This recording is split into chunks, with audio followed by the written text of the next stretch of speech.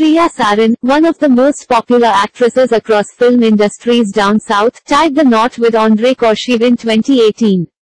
The couple moved to Barcelona and spent the past few years in Barcelona amid lockdown due to the novel coronavirus.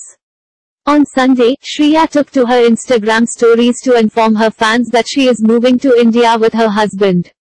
Shriya Saran and Andrei Koscheev are moving to India in the video shared by the RRR actress on Instagram stories. Shriya can be seen taking a selfie of her apartment filled with boxes where her husband Andrei Koscheev and friends can be seen packing several objects. She captioned it, moving back to India. Missing the homies. Namaste. Bye bye. Shriya and Andrei's life in Barcelona. Shriya, who is usually active on Instagram, posts quite a few pictures of herself with husband Andrei while the two are walking down the street or spending some time in their apartment.